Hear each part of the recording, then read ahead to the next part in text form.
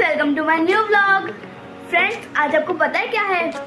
आज मेरे चैनल का बर्थडे है। आज मेरे चैनल को यानी एक साल हो चुका है।